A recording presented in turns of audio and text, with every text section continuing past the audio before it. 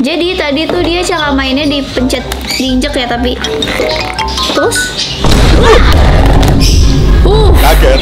wow Oke guys, sekarang saatnya pembuktian.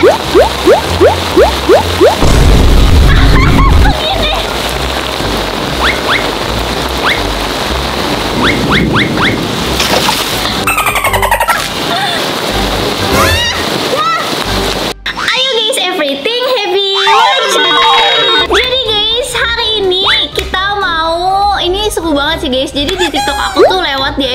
TikTok aku tuh banyak banget barang-barang yang aneh tapi orang-orang tuh pada beli guys. Kayak ada payung kematian, ada parfum bau bau darah, bau anyir. Banyak banget. Pokoknya hari ini kita bakal review satu-satu beneran gak sih kayak yang ada di video itu. Soalnya aku penasaran juga sih kira-kira gimana dan harganya tuh kebanyakan harganya relatif murah ya guys di bawah 500 ribu jadi kita bakal langsung aja ke barang unik yang pertama kira-kira worth it dibeli?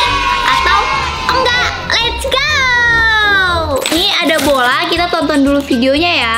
Jadi tuh bolanya diinjek-injek-injek terus oh dia meletuk meletuk meletuk meletuk gitu guys. Wow. Jadi tadi tuh dia cara mainnya dipencet diinjek ya tapi terus?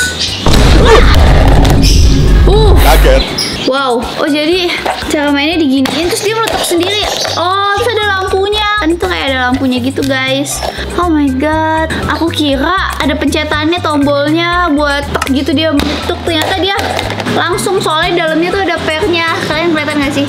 Kelihatan nggak?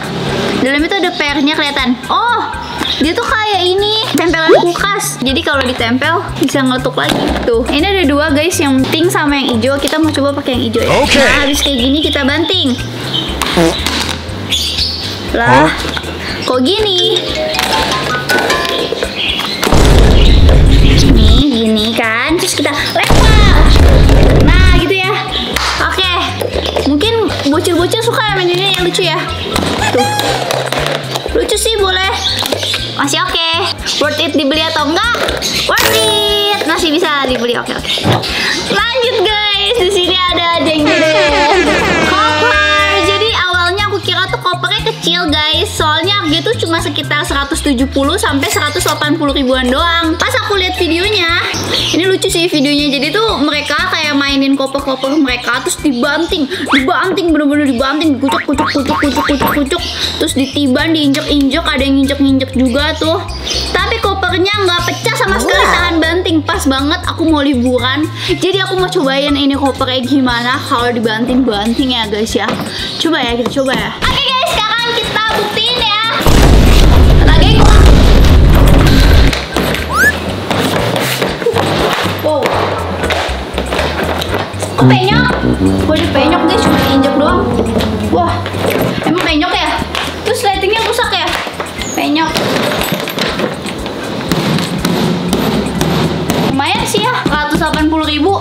Ini bener-bener gak lecet sama sekali guys. Rusak. Terus agak penyok tuh, penyok. Tapi masih worth it sih buat gitu ya, worth it dibeli oke lah guys. Lumayan bisa buat jalan-jalan ya. Nah, lanjut di sini ada videonya. Dia tuh wow, dia tuh masukin apa nih? Minum-minuman ke leggingnya kayak galon-galon gitu sampai leggingnya melar terus tas dimasukin. Oh, dia nunjukin kalau legging ini bisa buat size apa aja. Sekarang kita udah beli leggingnya. Leggingnya dulu ya guys. Kita lihat apakah benar dia tahan semelar itu. Kalau pinggangnya sebenarnya lumayan gede ya. Sekarang udah siapin galon. Tada! Kita bakal masukin galon, guys. Kira-kira tahan nggak ya dia? Wow, gede banget ya ini galon. Oke guys, jadi ini tuh udah sampai. Ini udah bentuk banget. Soalnya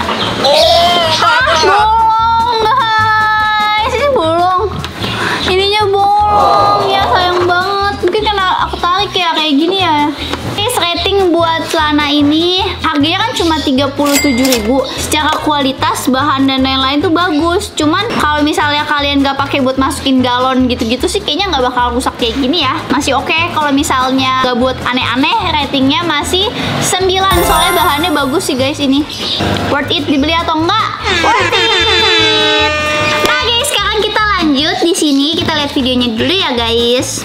Jadi di sini tuh ada kayak yang dipasangin gambar terus kita tuh tinggal ngikutin gambar yang ada di proyektor. Jadi kita bisa bikin gambar persis sama yang ada di proyektornya. Jadi bisa ngelatih gambar anak lebih cepat gitu. Itu harganya 72.000. Kita lihat ya udah dapat apa aja. Oke. Ini pertama dapat mejanya. Kita pasang dulu mejanya. Lucu ya. Kali ini.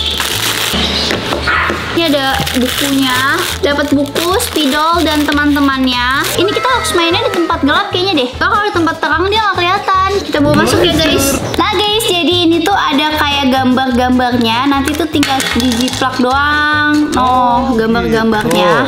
Dan di sini tinggal kita nyalain. Tuh. Wah.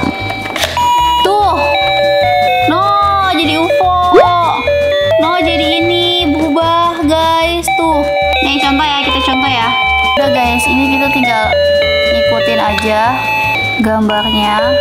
Nah guys, sekarang gampang deh. Kita tinggal warnain, ngikutin warnanya. Yang penting tuh polanya dapet guys. Eh guys, udah jadi. Kita ambil ya. Tada!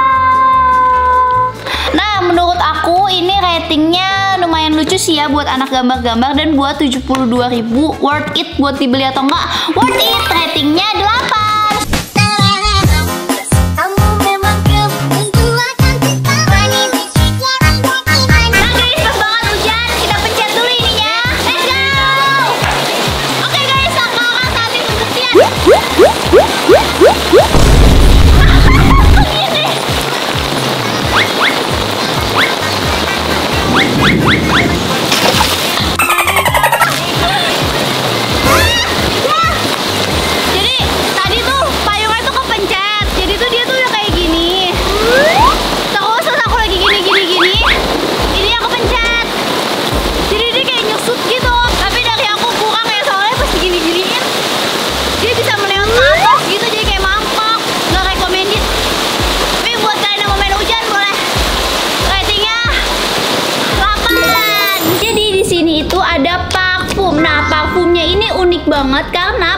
Parfumnya ini katanya di TikTok coba ya kita tonton dulu video reviewnya. Dia bikin parfum wangi horor alias wanginya serem-serem. Tuh guys, parfumnya itu wangi horor dan wanginya tuh serem-serem kata dia. Jadi tujuh parfum yang ada di sini tuh wanginya mistis. Biasa kan orang bikin parfum tuh wanginya enak, wangi bunga, wanginya manis, vanila, coklat. Ini wanginya tuh mistis. Malah katanya tuh bau anjir, bau darah. Nah sekarang kita cobain ya guys. Pertama ada sarang gandarua. Kita coba ya. Ini katanya yang paling bau anjir, bau darah. Bau apek. Baunya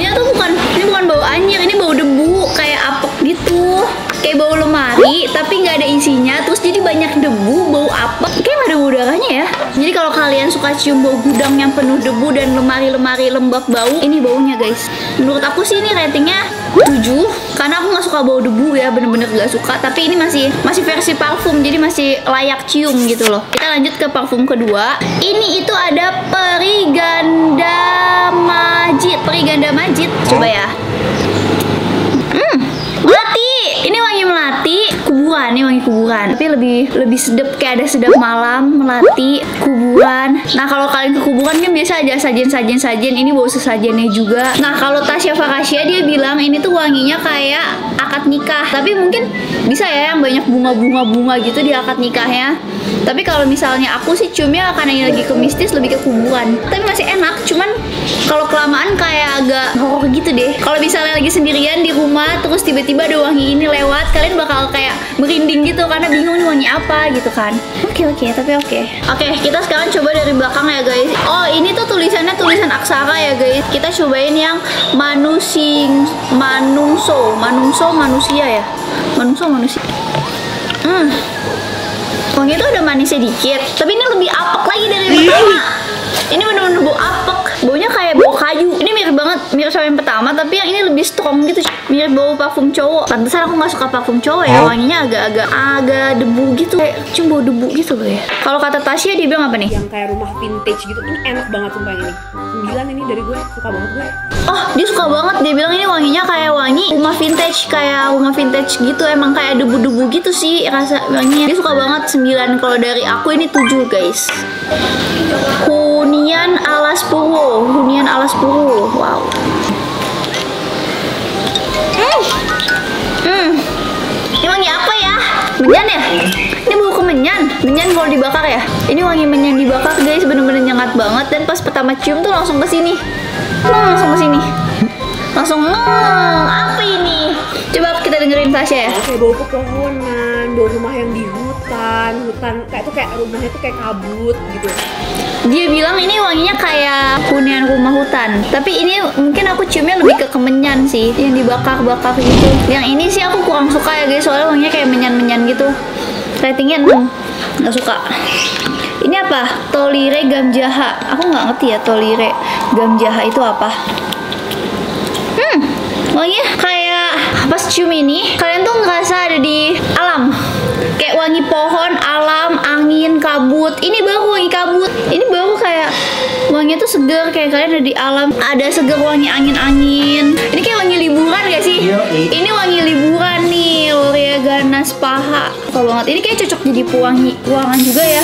Kayak parfum wangi-wangi gitu. Terus rimba jagal. Rimba jagal. Ini kayaknya agak mistis serem nih. Hmm. Bau asem, bau amis, betadin. Ini bau betadin guys. Iya bau ruang bedah betadin. Jadi kayak kalau kalian abis berdarah diobatin alkohol betadin ini bau betadinnya. Coba kita dengar. sumpah ini enak banget kayak parfum parfum Memo Paris gitu yang ini cowok lebih lebih ke arah maskulin smoky earthy terus lama-lama kayak ada wangi manisnya juga Kalau kata Tasya ini wanginya kayak wangi parfum cowok, kayak arty gitu, manly juga. Ya juga sih kalau abis dengerin dia persepsinya berubah. Iya sih. Cuman kalau awal tadi aku cium ya itu kayak betadin, versi betadin. Terakhir ada Sangyang hantu laut. Wah hantu laut guys, pasti wangi laut nih ya. Ini kali ya yang bau Nyiroro Kidul ya. Kayaknya ini ada yang bau Nyiroro Kidul. Hmm, baunya kayak asin. Pas aku cium asin, sampai sampai kayak ny- nyicip tau gak sih sampai kayak hmm, gitu. Bau emak-emak ya. Maksudnya bau parfum emak-emak lebih cocok ke mama. eh, Jadi ini tuh kayaknya bau cocoknya buat cowok, ada yang cocoknya buat cewek, ada buat anak kecil, sama buat mama-mama. Ini buat mama-mama. Karena ini nggak ada manis-manis sama sekali. Aku kan suka parfumnya yang manis ya. Ini tuh kurang manis. Ratingnya dari aku yang ini tuh 8 masih enak. Ah guys, yang ini juga oke. Jadi menurut aku tadi yang paling gak enak yang mana ya?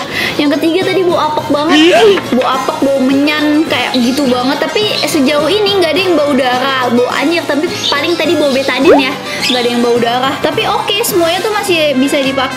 Bukan kayak parfum bau yang bau kentut gitu enggak ya? Kan ada tuh parfum bau kentut, bau ini ini enggak sih, masih layak dipakai. Wah, tepuk tangan semua parfumnya bener-bener experience-nya dapat buat kita cobain semuanya overall ini aku kasih rating 10 karena seru banget jadi kayak kita pas cium berasa dibawa ke sana dibawa ke sini dibawa ke sini gitu wah suka banget